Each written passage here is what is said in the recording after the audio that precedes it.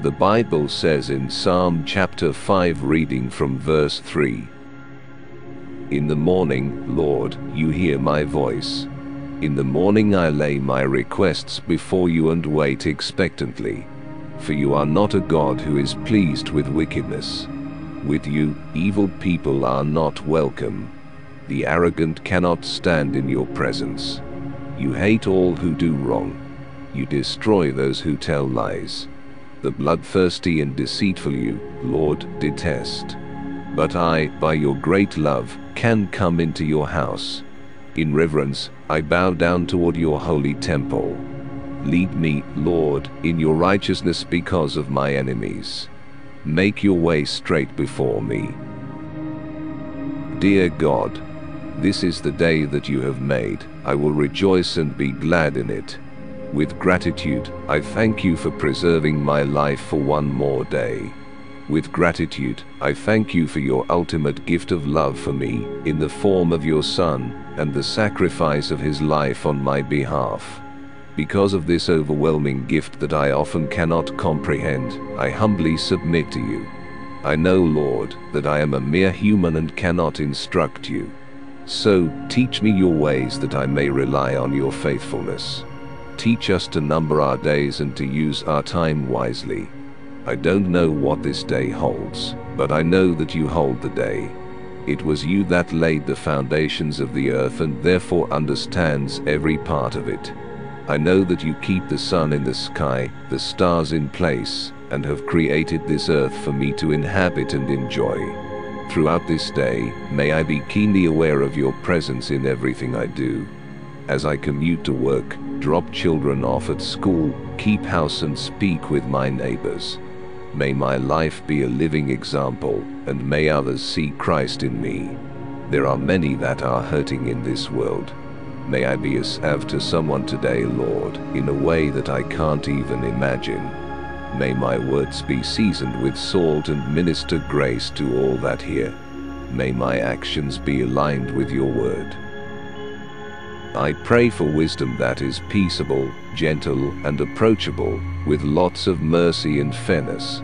You said an unlimited supply of wisdom is available to me if I simply ask, so I pray for wisdom to know how to deal with the many people and situations that will cross my path.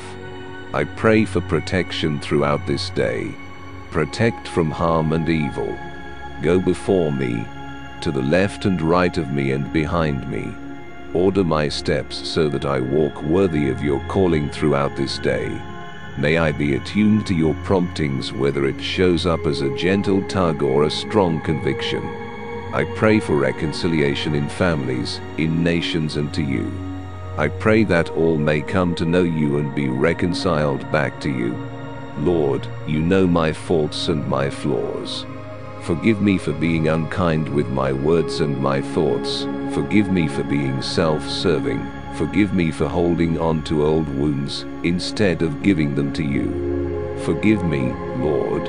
When I am overwhelmed, confused, unsure, and restless, help me run to your word. May your word come alive to me so that it is a living guide in every situation.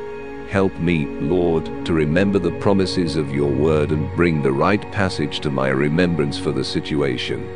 I acknowledge, Lord, that I need to spend more time with you reading and praying so that I am prepared for whatever the day brings.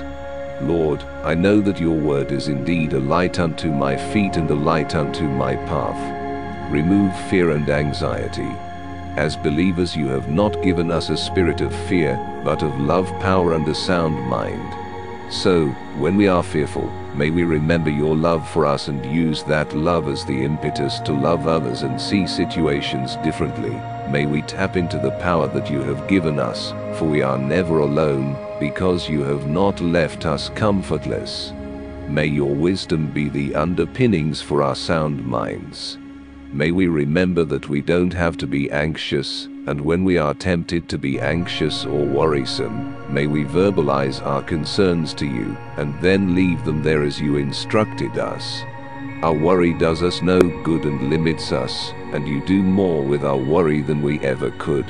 Help us to turn all of our anxious thoughts and nerve-wracking situations over to you, to truly do that and trust that you are working. That you are working all things together for our good because you love us.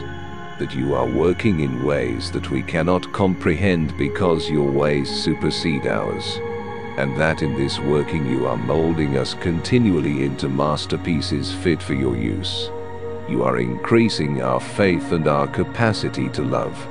As a child of yours, Lord, I know that I am your masterpiece, though I feel so far from it. Help me to remember my worth in you when I'm faced with challenging situations. When I feel depressed, help me to remember that I'm fearfully and wonderfully made in your image a replica of you and that you loved me so much you thought that I was worth dying for.